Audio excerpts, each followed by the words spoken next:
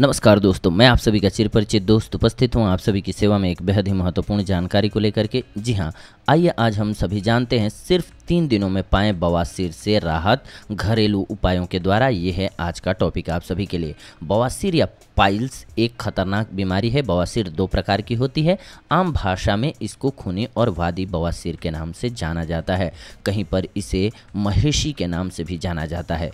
खूनी बवासीर में किसी प्रकार की तकलीफ़ नहीं होती है। केवल खून आता है। पहले पखाने में लग के, फिर टपक के, फिर पिचकारी की तरह से सिर्फ़ खून आने लगता है। इसके अंदर मस्सा होता है, जो कि अंदर की तरफ़ होता है, फिर बाद में बाहर आने लगता है। टट्टी के बाद अपने से अंदर चला जाता है। पुराना होने पर, बाहर आने पर, हाथ से दबाने पर ही अंदर जाता है। आखिरी स्टेज में हाथ से दबाने पर भी अंदर नहीं जाता है ये।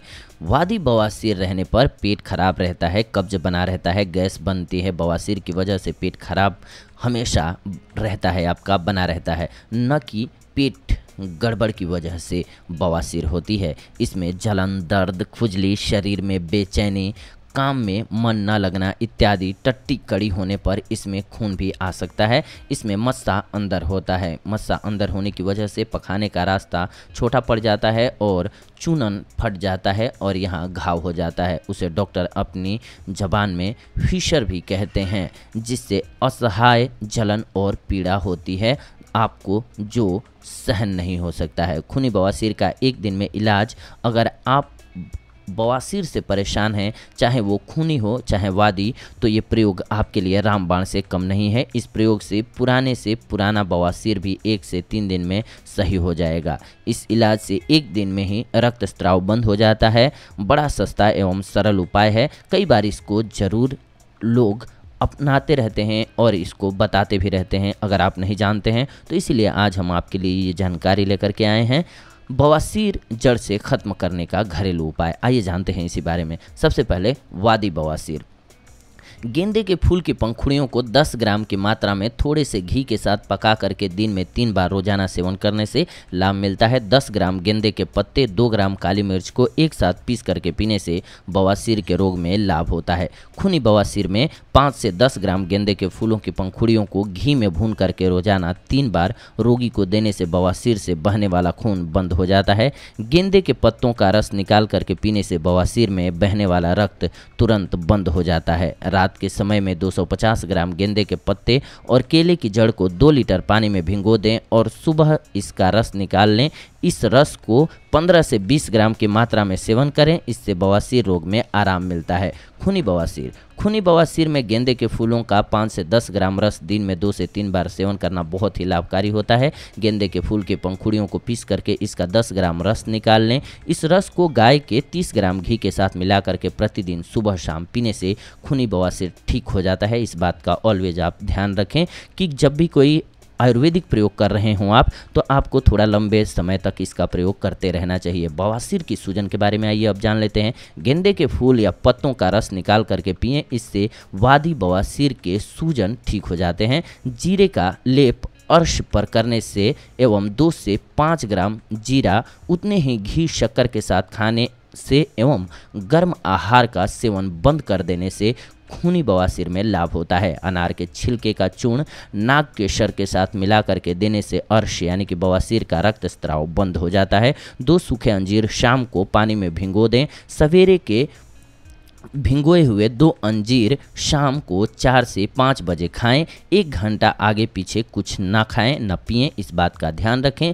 आठ से दस दिन के सेवन से वादी और खूनी हर प्रकार की बवासीर ठीक हो जाती है। बवासीर को जड़ से दूर करने के लिए और पुनः न होने के लिए छाछ सर्वोत्तम दवा के रूप में कार्य करती है। दोपहर के भोजन के बाद छाछ में डेढ़ ग्राम यानी कि चौथाई चम्मच पीसी हुई अजवाइन और एक ग्राम सेंधा नमक मिला करके पीने से बवासीर में लाभ होता है और नष्ट हुए बवासीर के मत से पुनः उत्पन्न नहीं होते हैं। ये भी बहुत ज़रूरी होता है। केवल रोग ठीक करना नहीं ज़रूरी है। वापस रोग न हो, इस बात का ध्यान रखना भी बहुत ज़रूरी है। अब आइए जानते हैं हार श्रृंगार के बारे में। हार श्रृंगार के दो ग्राम फूलों को तीस ग्राम पानी में रात को भिंगो करके रखें।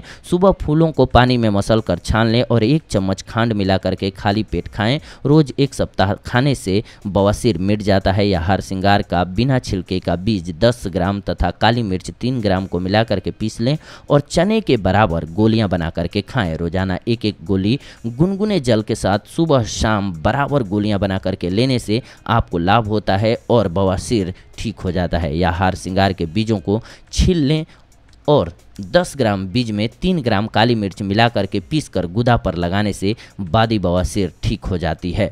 कपूर कपूर का प्रयोग। जी हाँ कपूर, रसोत, चाकसू और नीम का फूल सबको 10-10 ग्राम कूट करके पाउडर बना लें। मूली को लंबाई में बीच से काट करके उसमें सबके पाउडर को भरें और मूली को कपड़े से लपेटें तथा मिट्टी लगा करके आग में भून लें। भून जाने पर मूली के ऊपर से मिट्टी और कपड़े को उतार कर उसे शिलबट्टे यानी कि पत्थर पर पीस लें और मटर के बराबर गोलियाँ बना लें।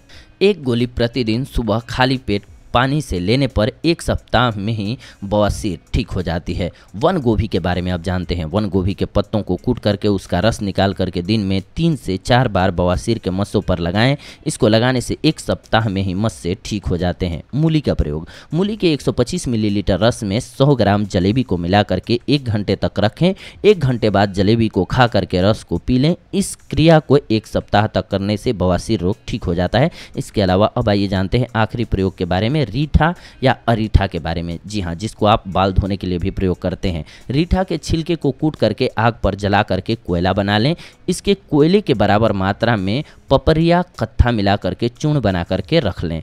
लगभग एक ग्राम का चौथा भाग की मात्रा में लेकर मलाई या मक्खन में मिलाकर प्रतिदिन सुबह शाम खाने से मस्सों में होने वाली खुजली एवं जख्म नष्ट होते हैं या रीठा के छिलके को जला करके भस्म बनाएँ और एक ग्राम शहद के साथ चाटने से भी बवासीर में खून का गिरना बंद हो जाता है। जी हाँ दोस्तों, खूनी और बादी बवासीर को मिटाने के लिए ये बेहद ही कुछ एक महत्वपूर्ण घरेलू औषधियाँ थी। बस इनका प्रयोग आपको पेशेंस के साथ करना होता है, आपको बहुत लाभ होता है। अगले एपिसोड में आप सभी के साथ जुड़े। जुड़ेंगे एक और बेहद ही महत्वपूर्ण जानकारी को लेकर के तब तक के लिए धन्यवाद। नमस्कार दोस्तों।